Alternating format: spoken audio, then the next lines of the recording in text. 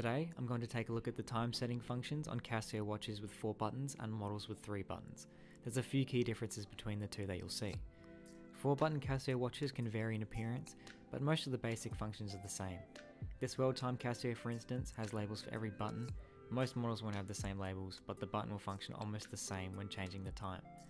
Labels aside, the basic formation for 4 button Casios are A for the top left, B for the top right, C for the bottom left, and D for the bottom right.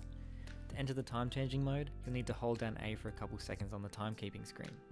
When the seconds digit starts flashing, you'll know you're in the time setting screen. Press C to move through each digit and adjust them using D to add and B to subtract.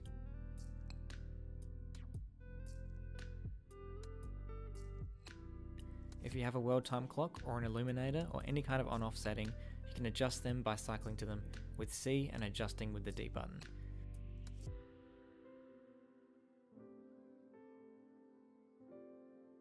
When you change your seconds digits, a single D press will reset the value to 0.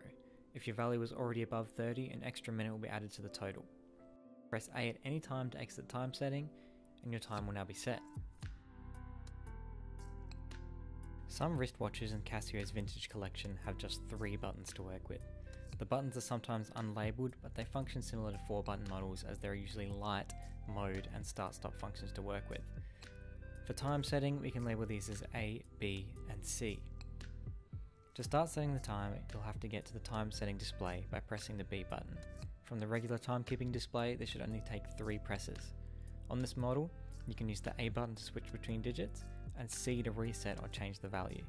If you hold down C, you'll cycle through your values much quicker. Keep in mind that the seconds digit will reset to zero after you press the adjusting button, and we'll add an extra minute to the clock if it's already over 30 seconds. Once everything is how you want it, you can press B again to exit the setting and lock in your new time and calendar. Hopefully this guide has helped you to get your settings just how you want them. If your Casio model was different to the ones I've mentioned, you can always check the module number on the back of the watch and find a manual online using Casio's manual archives. We'll put a link in the description. And as always, thanks for watching.